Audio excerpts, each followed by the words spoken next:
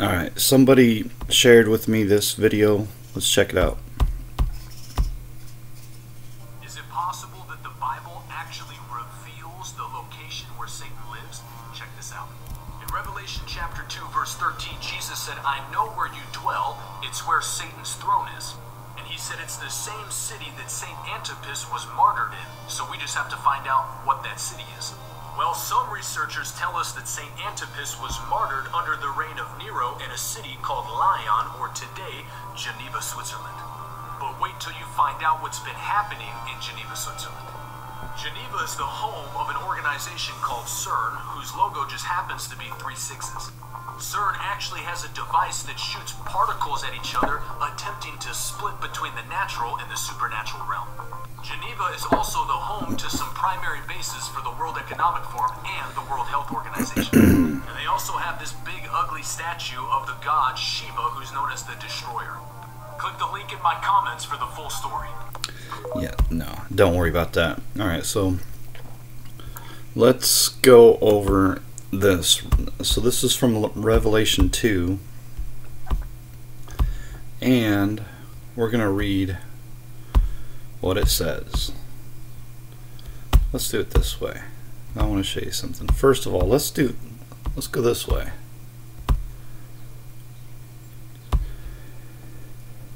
Oh, where's that at? Right there. Verse 4 in Revelation chapter 1.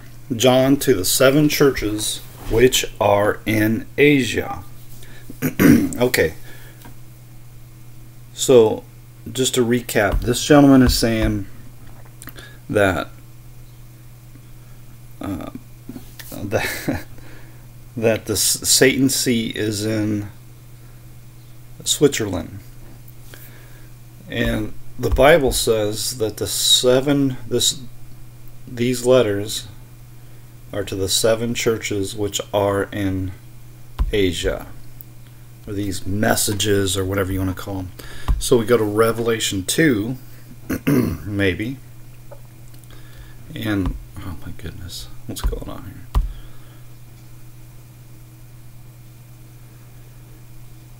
I don't know what's happening.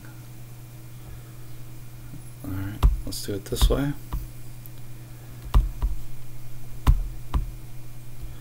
Alright, so we go to uh, verse right here, verse 12. So these short little messages to the seven churches. Uh, each church in Asia is mentioned. Okay. And then specifically, verse 12, it says, And to the angel of the church in Pergamos. These things saith he which has the sharp sword with two edges. I know thy works and where thou dwellest, even where Satan's seat is. Alright, that's enough, isn't it? okay, so we can deduce that the church is in Asia and the specific church is in Pergamos. Alright, not Switzerland. And then secondly, the the CERN is a big super collider that shoots electricity in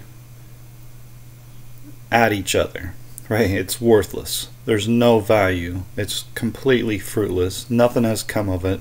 Big waste of time. It's not doing nothing they're not able to do anything productive with it. It doesn't matter even if they did. Has no bearing no relation with what we're reading in Revelation 2. Now, you see here, though, there's an interesting phrase here, even where Satan's seat is. Now, we could uh, just type in that word Satan.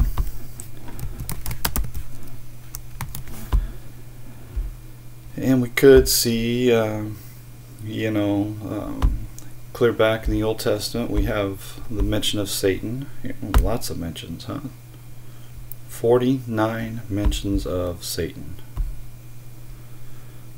So, you know, we can go to Matthew 4. Uh, Jesus says, Get thee hence, Satan, for it is written, Thou shalt worship the Lord thy God, in him only shalt thou serve. Now, we can go to Matthew 16. And Jesus says, But he turned and said unto Peter, Get thee behind me, Satan. Satan is not some guy sitting in a chair in Switzerland. Satan is the evil spirit of God, you know, the evil spirit in opposition to God. It's not a UFO alien being. It's not a humanoid. It's not a Nephilim. It's not none of that stuff. Now, it's just an, the opposition spirit of God. That's it. That's all it is. Now, we can scroll back up here in Revelation 2 and read this message to the church in Smyrna. These things saith the first and the last, which was dead and is alive. I know thy works and tribulation and poverty, but thou art rich. I know the blasphemy of them which say they are Jews, and are not, but are the synagogue of Satan. Fear none of those things which thou shalt suffer. Behold, the devil shall cast some of you into prison that ye may be tried. Now, the devil in this situation here is not a humanoid, not a person sitting in a chair in Switzerland. This is in reference to somebody that is not of God. Again, a spirit that is in opposition to God. That's it. It's not complicated. Alright. and so don't listen to these kids that never read their Bible. This is the best? Oops. Is it possible? Alright, that's loud, isn't it? Okay. Don't listen to these kids that have no idea what the Bible says. And they don't even believe the Bible that they hold in their hands. I guarantee it. Absolutely guarantee it. And again, I'm going to show you that the secret, the key to understanding the Bible is faith.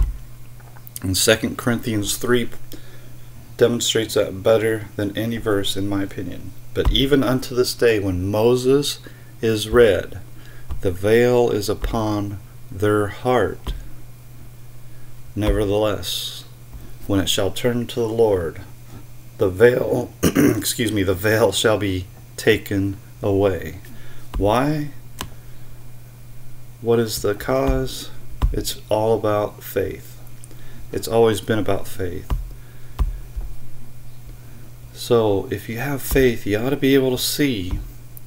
This is not talking about a humanoid, uh, Martian, an earthling, none of those things. All right. So don't don't read too much. Don't read more into it than you need to. All right. You come up with these crazy, crazy ideas, and it's not any good. Does you no good at all. All right. That's all I got.